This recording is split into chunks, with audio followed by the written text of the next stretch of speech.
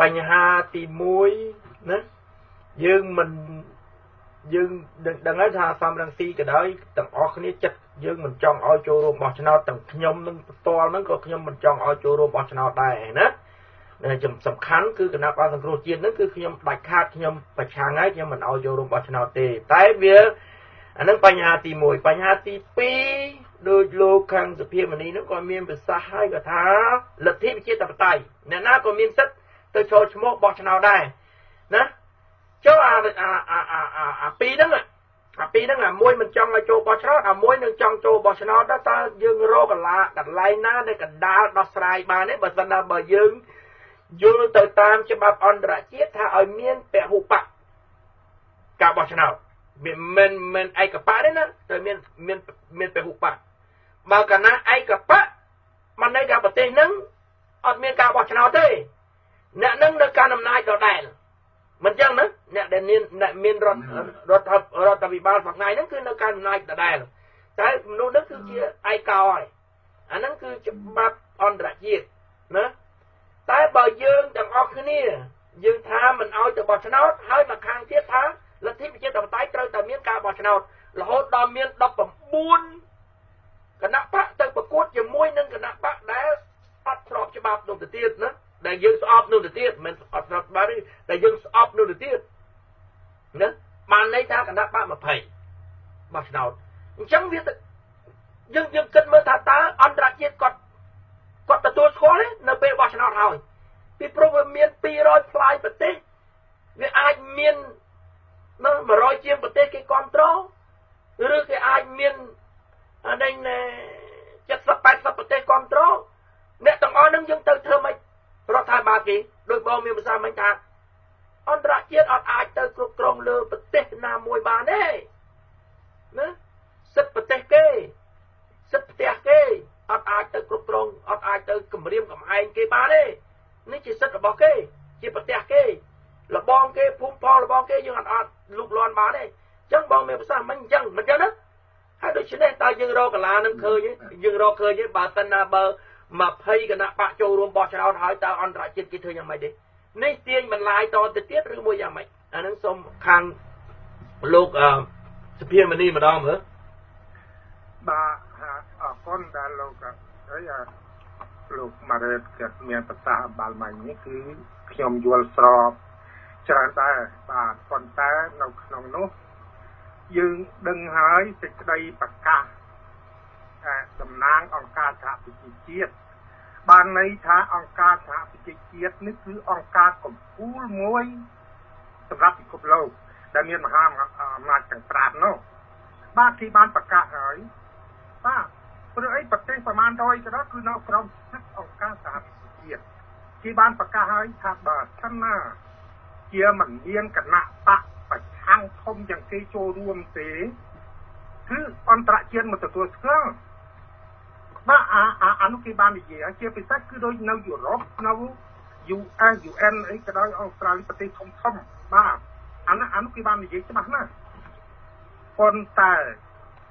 យើងដែលលឺអន្តរជាតិទាំងអស់ប្រទេសមហាអំណាចទាំងអស់នោះដែលនិយាយប្រាប់ថាឲ្យនៅផ្ទះឈ្នះឯងនៅផ្ទះមិនធ្វើចលនាទេទោះហើយចក្រាដែលលឺដែលលឺអង្គការសហជីវជាតិឬ សហរដ្ឋអាមេរិកយុរ៉ុបអីគេអូស្ត្រាលីអីគេប្រកាសថាឲ្យដេកផ្ទះដែរគេមិនដែលប្រកាសអញ្ចឹងទេគេច្រើនតែនិយាយលើកទឹកចិត្តខ្មែរថាសូមឲ្យប្រជាពលរដ្ឋខ្មែរងើបឈរឡើងប្រកួតប្រឆាំងនឹងរបបផ្ដាច់ការរបស់លោកហ៊ុនសែនបាទគេតែងតែនិយាយអញ្ចឹងតែបើសិនណាជាសង្គ្រោះជាតិ ស្រឡាញ់ជាតិពិតប្រកបអ្នកដឹកនាំសង្គ្រោះជាតិតាមរាស៊ីក្តីអ្នកណាក្តីដែលថាស្រឡាញ់ជាតិពិតប្រកបនោះ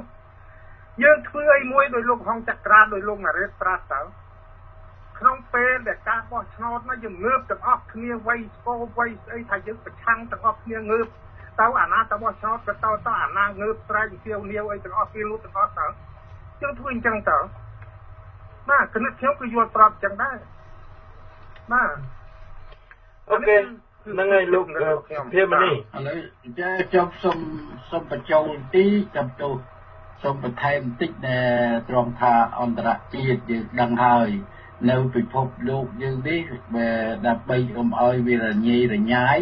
គេត្រូវការធ្វើសមាគមមួយដោយសមាគមខាងអាស៊ីយ៉ាងការសមាគមពិភពលោកនោះដែលអង្គការសហជីវជាតិហ្មងវាធំណាស់ហ្នឹងគឺថា ប្រទេសទាំងប្រមាណដែលគេទទួលស្គាល់ជាផ្លូវការមានឯករាជ្យត្រឹមត្រូវរៀបចំធ្វើហ្នឹងមកចូលជាសមាគមសមាគមហើយបង្កើតជាសមាជិកហើយពីឬប្រធានឬអីចឹងគេចោះចេះទៅអ្នករៀបចំតាមប្រមាណមួយឆ្នាំប្រមាណឆ្នាំម្នាក់អីចឹងបោះឆ្នោតនេះទៅទៅប៉ុន្តែទ្រង់ថាយើងដឹងហើយនៅក្នុងសមាជិកទាំងអស់ហ្នឹង100ខ្លាយប្រទេស190ជិត193ប្រទេសហ្នឹងគេទៅរើស មានមហាអំណាចមួយនៅក្នុងហ្នឹងគឺថាមហាអំណាចហ្នឹងមុនទៅធ្វើអីចំអ្នកតូចតាចថាចេះថាចុះទៅទៅសម្រេចស្ដាប់អ្នកបញ្ជានៅខាងហ្នឹងមាន5នាក់5នាក់ហ្នឹងគឺជាមហាប្រទេសធំធំណាស់តែ5នាក់ហ្នឹង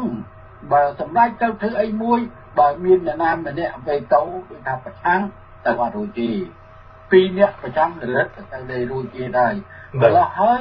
ការដែលថាអន្តរជាតិគេថាអេគេអត់ទទួល ដែលប្រកាសចោជួយចាប់មាត់ទេអត់ទេមានតែអ្នកស្រីណានោះឬនៅលោកណាមួយដែលថាទៅមើលសិទ្ធិមនុស្សនៅក្នុងស្រុកខ្មែរគាត់ថាទេតើប្រទេសជប៉ុនគេគាត់គេនិយាយឲ្យគាត់យើងយើងលឺអត់លឺធំទៀតសិតតែពួកគណៈបកដែលទៅធ្វើ lobby ជាមួយនឹងបរទេសនេះនិយាយចេញមកថាអន្តរជាតិអត់ទល់ស្គាល់ប៉ុន្តែចង់គេចេញមកជាផ្លូវការអត់មានទេយើងដឹងហើយ140ផ្លាយប្រទេស 45ប្រទេសពួកនឹងសិតតែជាតវ៉ាក្នុងសភាក្នុងអីនឹងសិតតែអ្នកសម្រាងនេះថាគេមិនសប្បាយចិត្តទេគូខ្មែរទៅរកសភាពឲ្យមកវិញឡើងវិញសភាពដើមមកវិញតើសភាពអីពួកអត់នឹងមកយល់ស្អីពីក្នុងស្រុកខ្មែរហ្នឹងហើយសភាពអីឡើងវិញ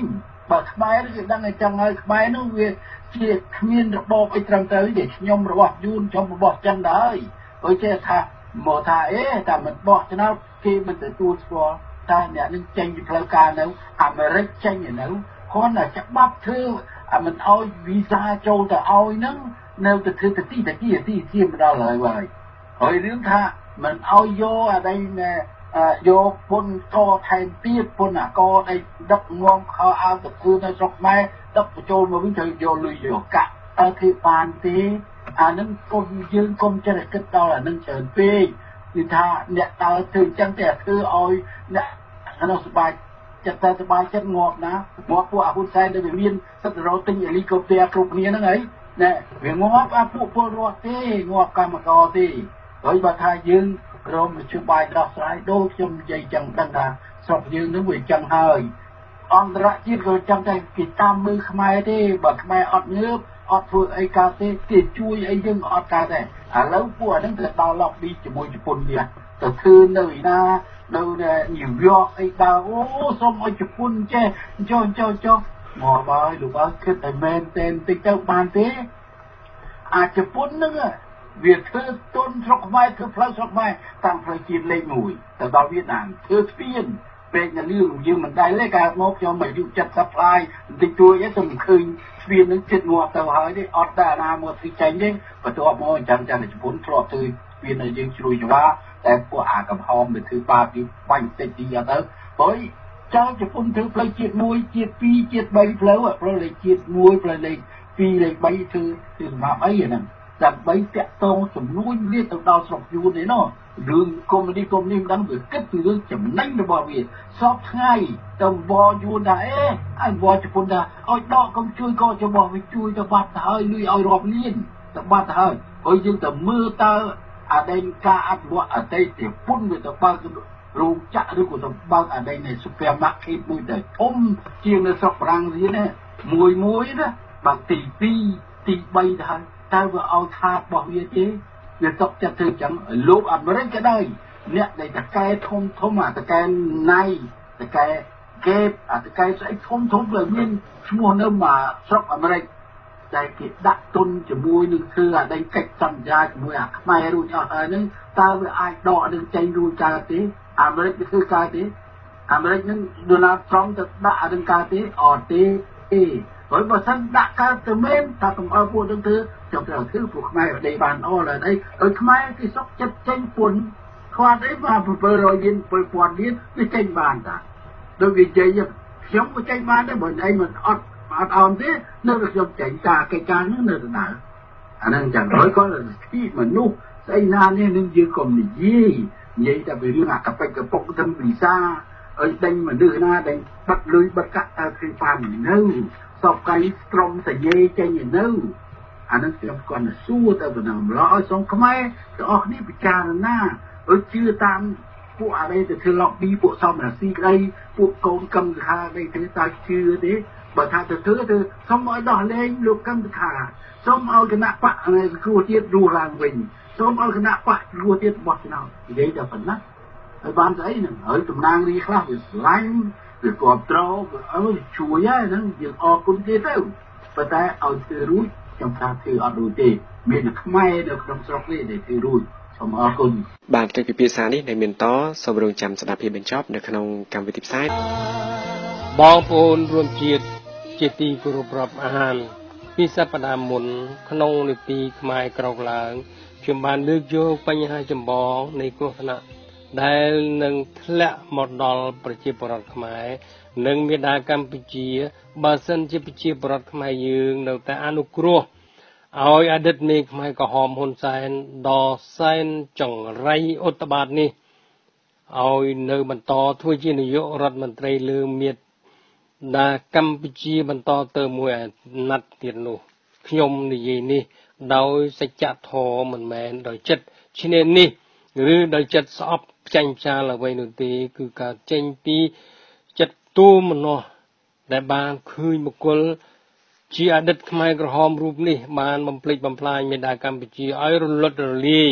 នៅសម្បត្តិធម្មជាតិសពសារពើស្ទើរអស់ពីប្រទេសទៅហើយផោះតាងជាក់ស្ដែងបងប្អូនរួមជាតិនៅក្នុងស្រុក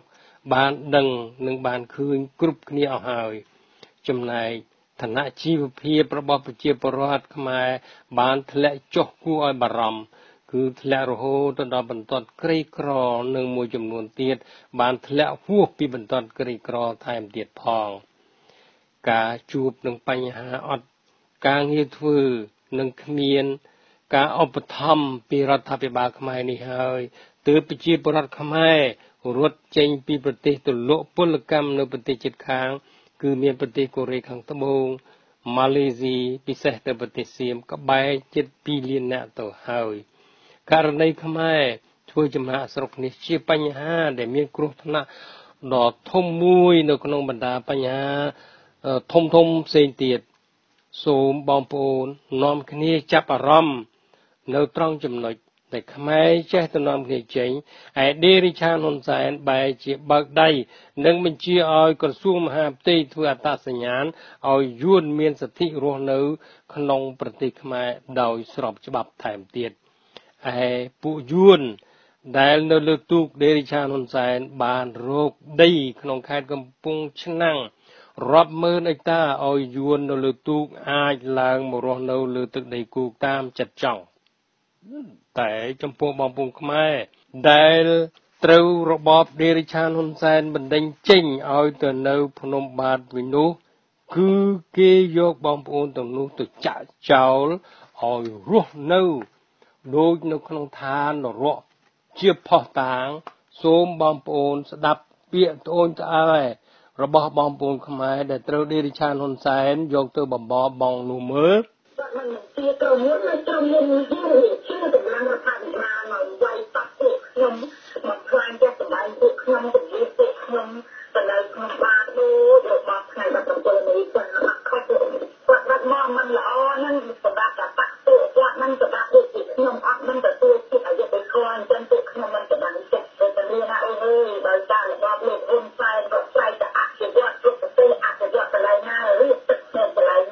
បាទមកដល់ដំណាក់កាលនេះ បងប្អូនបានឃើញភាពហិនហោចក្នុងមាតុភូមិយើងសពបែបយ៉ាងអស់ហើយ ដែលជាហេតុធ្វើឲ្យយើងជាប្រជាពលរដ្ឋនៃមេដាកម្ពុជាត្រូវតែនាំគ្នាគិតគូររកដំណោះស្រាយរំលំរបបរាជឆាននេះឲ្យបានតាមច្បាប់ ដែលយើងជាប្រជាពលរដ្ឋខ្មែរហើយដែលយើងជាម្ចាស់អំណាច នៅលើប្រទេសកម្ពុជារបស់យើងទាំងអស់គ្នានេះឯង តើយើងមានអ្វីជាសំអាងថាយើងជាម្ចាស់អំណាចនៅលើមាតុភូមិរបស់យើងនេះ គឺយើងសម្អាងទៅលើមាត្រា51ថ្មី នៅក្នុងច្បាប់រដ្ឋធម្មនុញ្ញនៃប្រជាជាណាចក្រកម្ពុជា ដែលបានចែងថាព្រះ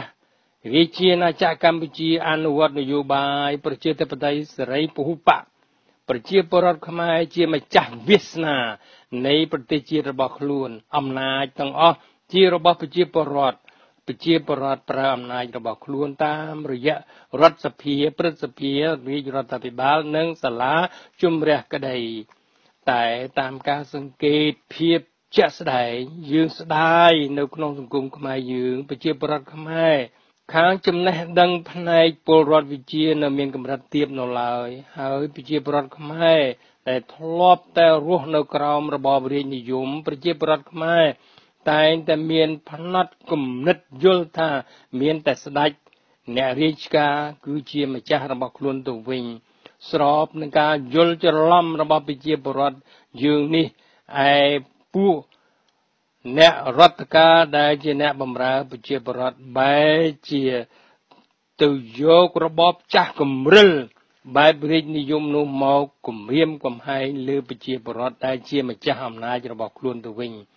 ដូច្នេះអំណះតទៅមុខក្រសួងអប់រំជាតិក្រសួងមហាផ្ទៃនិងក្រសួងពាក់ព័ន្ធត្រូវតែរៀបចំកម្មវិធីបង្រៀនប្រជាពលរដ្ឋឲ្យយល់ច្បាស់តាមធាតុពិតនៃអំណាចរបស់ប្រជាពលរដ្ឋគុំនៅបន្តរំលោភអំណាចលើប្រជាពលរដ្ឋតទៅទៀតនិយាយឲ្យចំបញ្ហាធំសប្តាហ៍នេះគឺដេរិឆានហ៊ុនសែន បានរំលោភលើមាត្រានានានៃច្បាប់រដ្ឋធម្មនុញ្ញនៃប្រជាណាចក្រកម្ពុជាជារៀងរាល់ថ្ងៃឯទង្វើរបស់ដេរិឆានហ៊ុនសែនដែលដឹកនាំប្រទេសតាមរបបផ្ដាច់ការជាឯកបៈនេះហើយដែលនាំឲ្យប្រទេសយើងស្ថិតនៅក្នុងអស្ថិរភាពនយោបាយគឺរំលោភលើព្រំដែនច្បាប់ក្នុងប្រទេស និងមិនគោរពច្បាប់អន្តរជាតិថែមទៀតផងក្នុងទីនេះ យើងលើកយកតែចំណុចមួយមកជូនជាឧទាហរណ៍គឺសន្ធិសញ្ញាសន្តិភាពទីក្រុងប៉ារីសថ្ងៃ23ដុល្លារ1991មកជម្រាប ក្នុងសន្ធិសញ្ញានេះគឺភាគីទាំង4សម្បើមុខកញ្ចក់ក្នុងនោះមានហ៊ុនសែនម្នាក់ដែរសម្បត្តិមុខកញ្ចក់វិញរួមនឹងប្រទេសហត្ថលេខី18និងអង្គការសហប្រជាជាតិមួយទៀត ក៏បានចុះហត្ថលេខាទាំងអស់គ្នា ក្នុងចំណោមហត្ថលេខីទាំងអស់និងភាគីខ្មែរ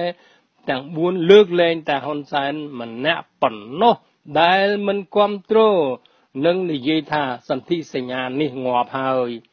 ចំណែកអន្តរជាតិជាហត្ថលេខីគេក៏នៅតែទទួលស្គាល់ថាសន្ធិសញ្ញានេះនៅរស់រហូត ក្នុងករណីនេះបើដេរិឆានហ៊ុនសែន នេះមិនគោរពតាមសន្ធិសញ្ញានេះនោះប្រទេសខ្មែរក៏មិនបានធ្លាក់មកដល់ស្ថានភាពអាក្រក់ដូចសពថ្ងៃនេះដែរពេលនេះយើងជាប្រជាប្រដ្ឋខ្មែរត្រូវតែនាំគ្នាទម្លាក់បុគ្គលដេរិឆាននេះកុំឲ្យនៅកាន់អំណាចតទៅទៀតរឿងទម្លាក់ដេរិឆានហ៊ុនសែននេះគឺអាស្រ័យនៅលើឆន្ទៈរបស់បងប្អូនរួមជាតិគ្រប់គ្នា ចូលរួមទម្លាក់ទើបអាចធ្វើទៅបានដោយរលូន ជាការពិតដេរិឆានហ៊ុនសែនត្រូវអស់អំណាចតាំងពីពេលដែលវាបានបញ្ជាឲ្យតុលាការខាងគណៈបកប្រជាជនកាត់សេចក្តីទាំងបំពេញរំលាយគណៈបកសង្គ្រោះជាតិកាលពីថ្ងៃទី16វិច្ឆិកា2017នោះម្លេះចាប់ពីពេលនោះគណៈបកប្រជាជនបានរលាយខ្លួនឯងទៅហើយព្រោះសភាខាងគណៈបកនេះ មិនគ្រប់ទឹកព្រោះសមាជិកសភាខាងគណៈបកប្រជាជនពេលនោះមាន68រូបទេដូច្នេះសភានេះខុសច្បាប់ទាំងស្រុងត្រូវតែរលាយដោយស្វ័យប្រវត្តិមកដល់ចំណុចនេះយើងសួរថាអ្នកណា ដែលទៅប្រោះឲ្យគណៈបកប្រជាជននេះរស់ឡើងវិញក្នុងករណីនេះយើងទាំងអស់គ្នាដឹងហើយ គឺមានបុគ្គលចោលមកទៀតប្រធានគណៈបកហ្វិនសិនពេជ្រ គឺសម្ដេចក្រមព្រះរណរិទ្ធសូមបើវងកញ្ចក់បងប្អូនខ្មែរភាគច្រើនបានដាក់ងារថាជាក្រមប្រែតសម្បត្តិវងកញ្ចក់វិញនិងយុវជនម្នាក់ទៀតតំណាងឲ្យគណៈបកយុវជនគឺពេជ្រស្រស់ចេញមកប្តឹងគណៈបកសង្គ្រោះជាតិនឹងបានមកទទួលយកអាសនៈនៃតំណាងរាស្ត្រសង្គ្រោះជាតិសំទោដែលដេរិឆានហ៊ុនសែនបានរំលាយ ទាំង55អាសនៈនោះសូមបើគុំចោវិញត្រង់នេះបងប្អូនរួមជាតិភិកច្រើនបានយល់ថាសម្ដេចក្រមព្រះនិងយុវជនពេជ្រស្រស់និងមេគណៈបាមួយទៀតដែលមកយកអាសនៈពីដេរិឆានហ៊ុនសែននេះ គឺជាពពួកមនុស្សក្បត់ជាតិខ្មែរដូចតែហ៊ុនសែននេះចឹងដែរសបិនមុខចោវិញ រួមសេចក្តីមកវិញពេលនេះមានតែបងប្អូនរួមជាតិ ទូទាំងប្រទេសងើបឡើងទាំងអស់គ្នាកុំទៅបោះឆ្នោតតាមលបែងបោកប្រាស់របស់ដេរិឆានហ៊ុនសែននេះឲ្យសោះដោយខ្ញុំបានជម្រាបពីសប្តាហ៍មុនមកហើយថាដរាបណាគ្មានអន្តរជាតិចូលមកជួយរៀបចំការបោះឆ្នោតនេះទេនឹងគ្មានគណៈបកសង្គ្រោះជាតិចូលរួមទេដេរិឆានហ៊ុនសែនវានឹងធ្វើអ្វីស្រេចចិត្តវា ហើយវានឹងបន្តអំណាចផ្ដាច់ការរបស់វាតាមតែអំពើចិត្ត ទីបំផុតមាតុភូមិយើងនឹងคล้ายទៅជាចម្ប៉ាទី2ឬកម្ពុជាក្រោមមួយទៀតដោយជាមិនរួចឡើយហើយអស់លោកដែលបានដាក់ពាក្យចង់ចូលទៅប្រគួតប្រជែងជាមួយហ៊ុនសែនសុំដកសុំកុំដេកយល់សពឲ្យសោះវាមិនឲ្យយើងឈ្នះដាច់ខាតដូច្នេះផ្លូវមានតែមួយគត់គឺត្រូវរួមគ្នារំលំគណៈបក របស់ដេរិឆានហ៊ុនសែនជាកញ្ចេះយួននេះឲ្យវារលត់រលាយសិនចាំយើងរៀបចំប្រទេសយើងឲ្យបានត្រឹមត្រូវតាមលទ្ធិប្រជាធិបតេយ្យពិតប្រាកដសិនចាំយើងចូលប្រឡូកជាមួយគ្នាក្នុងរង្វង់ខ្មែរនៃជាតិនិយមដូចគ្នាទើបយើងអាចជួយសង្គ្រោះជាតិមាតុភូមិរបស់យើងបានយ៉ាងនេះបងប្អូនដែលបានដាក់ពាក្យ ជាគណៈបកទៅក្រសួងមហាផ្ទៃដើម្បីទៅប្រកួតប្រជែងនឹងហ៊ុនសែនត្រូវតែទៅដកមកវិញឲ្យបានមុនពេលថ្ងៃកំណត់ហើយទុកឲ្យដេរិឆាននេះវាបោះឆ្នោតតែគណៈបកវាទៅចោះវានឹងទៅដល់ទីបញ្ចប់របស់វាមិនខានឡើយព្រោះអន្តរជាតិមិនទទួលស្គាល់ដាច់ខាត បាទពីខ្ញុំបាទជាតិថងសាវិទ្យុខ្មែរពិភពលោករៀបរៀងជូនបងប្អូនស្ដាប់ពីរដ្ឋមនីសូតាសហរដ្ឋអាមេរិកដោយសេចក្តីគោរពរាប់អាននិងស្រឡាញ់និងស្មោះសូមអរគុណនិងសូមជម្រាបលាកម្មវិធីខ្មែរពិភពលោកទីគោរពរាប់អានជួបគ្នាទៀតនៅក្នុងទីពីនេះពីនោះថ្ងៃអង្គារបាទនៅថ្ងៃអង្គារទី12មិថុនានេះមានព្រឹត្តិការណ៍ប្រវត្តិសាស្ត្រមួយដែលយើងជាផ្នែកមួយនៃមនុស្សជាតិគួរចងចាំបាទ គឺប្រធានាធិបតី Donald Trump របស់សហរដ្ឋអាមេរិកបានទៅជួបជាមួយនឹងនៃដឹកនាំកូរ៉េខាងជើងលោកគឹមចុងអ៊ុននៅប្រទេសសហបុរីព្រឹត្តិការណ៍នេះសំខាន់ជាប្រវត្តិសាស្ត្រព្រោះថាបើលោក Donald Trump អាចបញ្ចុះបញ្ចូលគឹមចុងអ៊ុនឲ្យឈប់គម្រាមសន្តិភាពពិភពលោកដោយបញ្ឈប់ការព្យាយាមផលិតអាវុធប្រឡាយលោកនុយក្លេអ៊ែរបានការភ័យខ្លាច ថាមានសង្គ្រាមលោក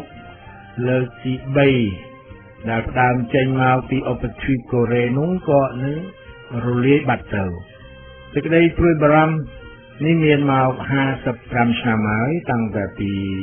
មានការផ្អាកសង្គ្រាមរវាងកូរ៉េខាងជើងនិងខាងត្បូងនោះបាទគ្រាន់តែផ្អាកទេមិនទាន់បញ្ចប់សង្គ្រាមទេ55ឆ្នាំមកនេះហេតុការណ៍នៅសិង្ហបុរី ថ្ងៃអង្គារនេះអាចនឹងនាំទៅដល់ការបង្រួបបង្រួមប្រទេសកូរ៉េខាងជើងនិងខាងត្បូងឲ្យខ្លាយទៅជាកូរ៉េតែមួយដោយប្រទេសអាល្លឺម៉ង់ជាគំរូឲ្យឃើញស្រាប់កាលពីឆ្នាំ1990ដែលអាល្លឺម៉ង់ខាងកើតនិងអាល្លឺម៉ង់ខាងលិចច្របាច់បញ្ចូលគ្នាបាទផ្លែផ្កាសំខាន់មួយទៀតគឺលោក Donald Trump ក៏នឹងក្លាយទៅជាប្រធានាធិបតីសហរដ្ឋអាមេរិកទី1 ដែលនៅពីក្រោយការលុបបំបាត់គ្រោះថ្នាក់សង្គ្រាមប្រឡាយលោកលោកអាចនឹងបានទទួលរង្វាន់ Nobel សន្តិភាព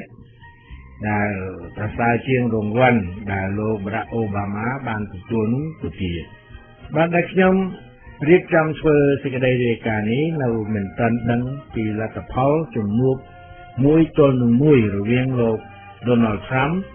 និង Kim Jong Un នៅឡើយទេបាទ អ្នកទាំងពីរស្ថិតនៅក្នុងបន្ទប់ចរចាបិទទ្វារសម្ងាត់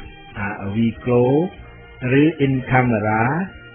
នេះចាត់ទុកថាជាជោគជ័យនៃនយោបាយសន្តិភាពដោយប្រើកម្លាំងគឺត្រៀមច្បាំងដើម្បីសន្តិភាពរបស់លោក Donald Trump បាទហេតុការណ៍មួយទៀតដែលគួរឲ្យជ្រាបកើតឡើងនៅជិតស្រុកយើងគឺនៅស្រុកយួនបាទពួកមេដឹកនាំយួនប្រហែលជាចង់ធ្វើត្រាប់ពួកអកញ្ចេះវានៅភ្នំពេញ ឬយ៉ាងណាក៏មិនដឹងទេបានជាចង់បង្កើតច្បាប់ធ្វើសម្បទានដីសេដ្ឋកិច្ចដែលនឹងអនុញ្ញាតឲ្យអ្នកទទួលសម្បទាននឹងអាចធ្វើរបររកស៊ីបានរយៈពេលដល់ទៅ99ឆ្នាំគឺក្រុមហ៊ុនបរទេសដែលចង់មកបណ្ដាក់ទុននៅស្រុកយួនអាចទៅបណ្ដាក់ទុនក្នុងតំបន់សេដ្ឋកិច្ចពិសេសចំនួន3នៅតំបន់មាត់សមុទ្រក្នុងខេត្តថៃហ្វា នៅតំបន់អេសានក្នុងខេត្តគួងនីងនិងនៅកោះត្រល់របស់ខ្មែរដែលពួកអាកន្តោកវាច្របាច់កខ្មែរប្លន់យកទៅហើយដាក់ឈ្មោះថាកោះហ្វូកុកពួកយន្តកន្តោកវាស្រុះគ្នាណាស់ក្នុងការចេញមកធ្វើបាតុកម្មនៅថ្ងៃអាទិត្យនិងថ្ងៃច័ន្ទម្សិលមិញមែនតើនោះក៏ធ្វើមកច្រើនថ្ងៃហើយបាទតាំងពីថ្ងៃប្រហ័សហ្នឹងទៅនោះពេលដែលមានដំណឹងថា សភារបស់យួននឹងបង្កើតច្បាប់អនុញ្ញាតឲ្យក្រុមហ៊ុនបរទេសអាចទទួលសម្បទានរយៈពេលដល់ទៅ99ឆ្នាំនោះបាទពួកយួនកតោវាខ្លាចក្រុមហ៊ុនចិនដែលមានលុយច្រើនអាចមកដេញថ្លៃយកតំបន់ទាំងនោះធ្វើជារបស់ចិនពេលនេះប្រហែលជាពួកអកន្តោវាដឹងខ្លួនខ្លះហើយថាការដែលបរទេសជាពិសេសបរទេសជិតខាងចូលមកកាន់កាប់ ទឹកដីរបស់ខ្លួនរយៈពេល99ឆ្នាំដោយដែលពួកអាចង្រៃកន្តោកឯងហ្នឹងកំពុងធ្វើនៅស្រុកខ្មែរនោះវាឈឺចាប់យ៉ាងណាតាមពិតយួនវាមានតំបន់សេដ្ឋកិច្ចពិសេសនឹងដល់ទៅ18កន្លែងរួចទៅហើយតែដែលយួនកន្តោបវាខឹងខ្លាំងគឺសភាតំណាងរាជវាបានបញ្ចូលរយៈពេល99ឆ្នាំទៅក្នុង ការបង្កើតតំបន់សេដ្ឋកិច្ចថ្មីចំនួន3ទៀត ដែលចិនច្បាស់ជានឹងលោតដាក់ព្រោះចិនមានលុយច្រើនជាងគេបាទនៅក្នុងការធ្វើបាតុកម្មនេះមានការប៉ះទង្គិចគ្នារវាងបាតុករហើយនិងប៉ូលីសនៅក្រុងហាណូយនៅក្រុងព្រៃនគរនិងនៅក្រុងនានាស្ទើរតែទូទាំងប្រទេសដំបូងពួកបាតុករបានត្រូវប៉ូលីសនិងសន្តិសុខយួនវាយសំពងចាប់បោះទៅលើឡានទ្រុងដឹកទៅដាក់គុករឹបរយនាក់បាទ តែក្រោយមកកាលពីថ្ងៃច័ន្ទនិងអង្គារនេះបាតុករបាននាំគ្នាទៅដុតមន្ទីរឃុំឃាំងនិងមន្ទីររដ្ឋបាលចោលជាច្រើនកន្លែងក្នុងពេលជាមួយគ្នានឹងពួកកងសមត្ថកិច្ចដែលត្រូវបញ្ជូនឲ្យទៅបង្ក្រាបបាតុករក៏នាំគ្នាបាទក៏នាំគ្នាដោះឯកសន្តានរបស់វាចោលជាគំនោដូចភ្នំព្រោះពួកវាលើកដៃវាយពលរដ្ឋរបស់ពួកវាមិនរួច ដល់ពេលហើយដែលខ្មែរយើងហ៊ានក្រោកឡើងតវ៉ារឿងមិនត្រឹមត្រូវអយុត្តិធម៌សង្គមនិងនយោបាយខុសឆ្គងរបស់អចង្រៃខ្វាងនិងបពពួកវាបានត្រូវតែធ្វើការហើយកុំខ្លាចខាងពេកមែនទេនឹងយើងគួរតែបះបោឲ្យវាពេះពេញប្រទេសតែម្ដងម្លេចក៏នៅស្ងៀមស្ងាត់ទទួលយកសកម្មភាពចង្រៃថោកទាបរំលោភច្បាប់បំពានរដ្ឋធម្មនុញ្ញ ដោយក្រុមអតីតពួកខ្មែរក្រហម ដឹកនាំដោយអាខ្វាងនឹងខ្លាំងម្លេះមិនក៏ធ្វើអញ្ចឹងក្រោកឡើងបងប្អូនទោះជាមិនមែនអ្នកគ្រប់គ្រងគណៈបកសង្គ្រោះជាតិក៏គួរតែក្រោកឡើងតវ៉ានឹងអំពើឆ្កែចចករបស់អាខ្វាងក្នុងការចាប់លោកកឹមសុខាដាក់គុកនិងបញ្ជាឲ្យតុលាការកំពូលមហាទីងងរបស់វាប្រកាសរំលាយគណៈបកសង្គ្រោះជាតិចោល ដោយឥតមានហេតុផលអ្វីទៅទៅសោះគ្រាន់តែថាវាចង់បំបត្តិគណៈបកនេះព្រោះមានប្រជាពលរដ្ឋគ្រប់គ្រងច្រើនតែប៉ុណ្ណោះត្រង់ឡើងបងប្អូនរោគវិធីយ៉ាងណាស្រែកតវ៉ាឲ្យពិភពលោកគេបានដឹងបានឮថាខ្មែរមិនកំសាកដោយអ្នកខ្លះថានោះឡើយយើងដៀលពួកអកន្តោថាពួកវាកំសាកហ៊ានតែនឹងខ្មែរក៏តែពេលដែលខ្មែរខ្សោយប៉ុណ្ណោះនោះ ឥឡូវពួកវាហ៊ានក្រោកពេញប្រទេសប្រឆាំងនឹងការសម្រេចចិត្តរបស់ពួកមេដឹកនាំដែលវាថានាំឲ្យយួនខូចខាតអធិបតេយ្យព្រោះបើសិនជាចិនចូលមកកាន់កាប់តំបន់ពិសេសទាំងនោះ99ឆ្នាំតើនៅសល់អ្វីសម្រាប់យួន យ៉ាងទៀតក្នុងនោះតំបន់ពិសេសមួយនៅស្រុកក្នុងស្រុកចិនទៅទៀត99ឆ្នាំតំបន់នោះស្វះជាคล้ายទៅជាស្រុកចិនទៅហើយ ប្រកាសណាស់ពួកមេដឹកនាំយួនវាមិនខ្វល់រឿងនឹងទេព្រោះវាអាងថាវាអាចបញ្ជូន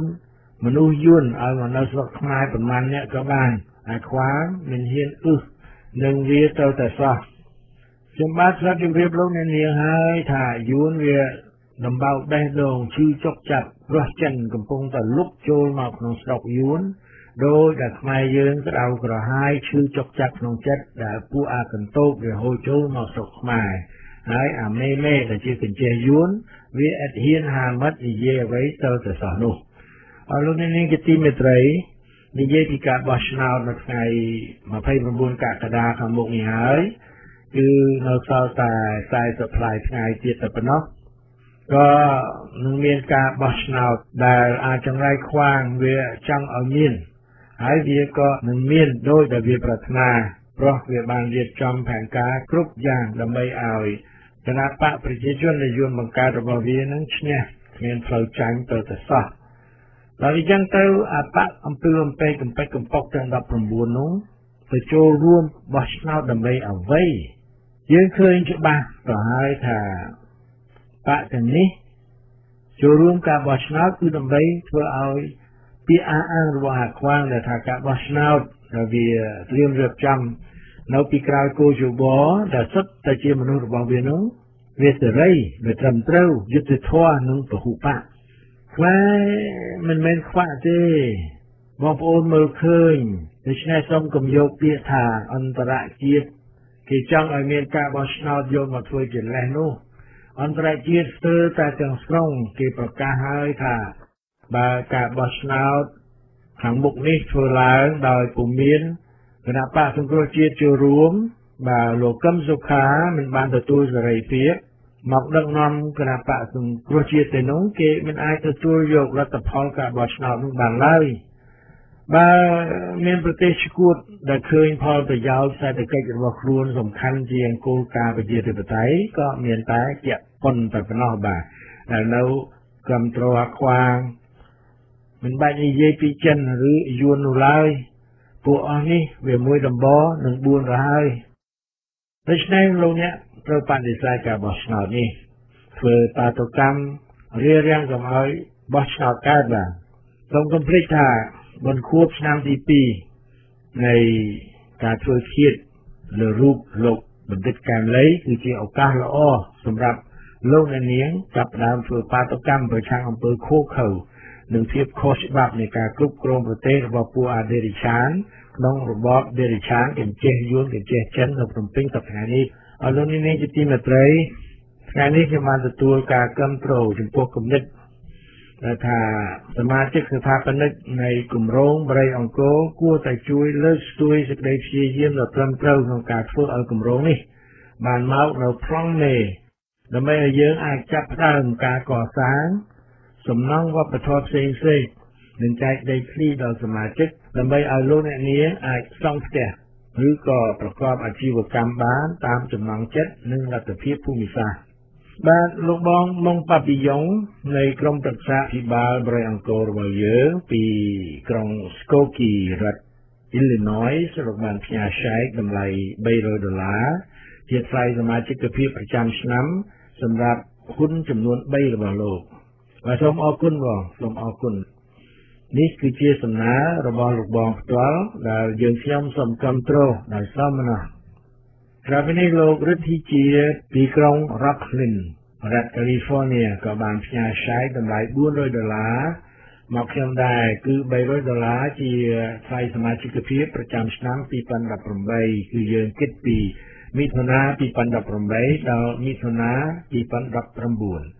បាទសម្រាប់ពីហ៊ុនរបស់លោកផ្ទាល់និងមួយហ៊ុនរបស់ប្អូនប្រុសលោកគឺលោកវិទូជា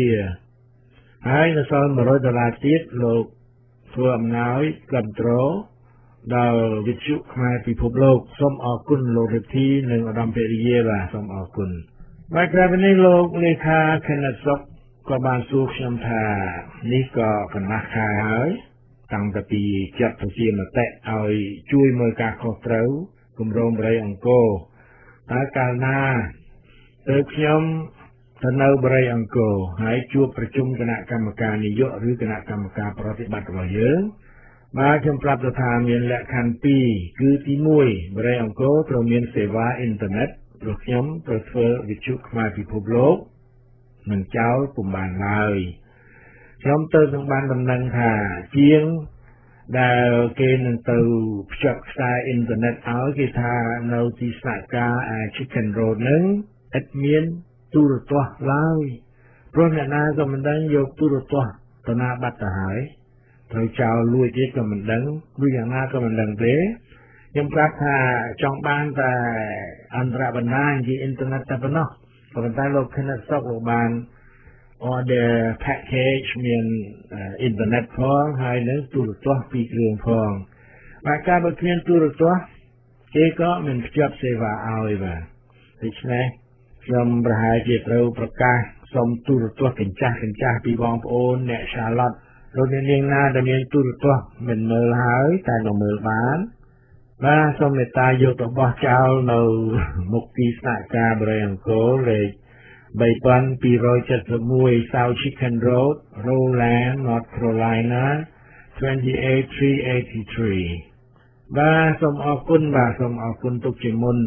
ខ្ញុំមិនចូលចិត្តមើលទូរទស្សន៍ទេតែបើចាំបាច់ត្រូវតែមានទៅមានអ៊ីនធឺណិតនោះដូច្នេះខ្ញុំចាំបាច់ត្រូវសុំបិណ្ឌបាតនៃគ្រឿងមកហើយលក្ខខណ្ឌទី2គឺយានជំនិះរបស់ខ្ញុំខ្ញុំទៅតែនឹងបានទទួល signal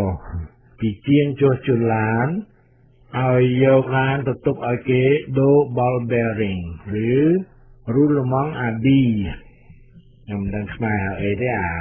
នៅនឹងកង់ឡានហ្នឹងប្រហែលជាស្អែកខាងស្អែកទៅបាន